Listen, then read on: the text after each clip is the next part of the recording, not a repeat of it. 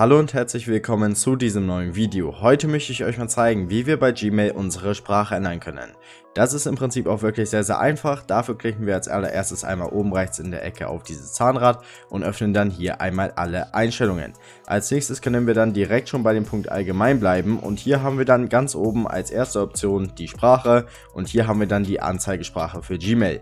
Ihr seht es, ich habe hier gerade Deutsch ausgewählt. Wir können einfach hier mal auf diese Box klicken und dann öffnet sich hier schon eine Liste mit sehr, sehr vielen verschiedenen Sprachen. Hier sollte also wirklich für jeden das Richtige dabei sein. Ich wähle hier jetzt mal Englisch US. Sobald wir das das ausgewählt haben, ändert sich aber erstmal noch nichts. Was wir stattdessen machen müssen, ist, dass wir noch einmal ganz nach unten scrollen und dann haben wir hier unten den Punkt Änderungen speichern. Da müssen wir jetzt noch einmal draufklicken und das Ganze sozusagen bestätigen. Ihr seht es, jetzt ist bei mir bei Gmail eben alles auf Englisch gestellt. Wenn ich euch mit diesem Video hier also etwas weiterhelfen konnte, dann würde ich mich wirklich sehr über einen Like freuen. Vielen Dank fürs Zuschauen und ciao.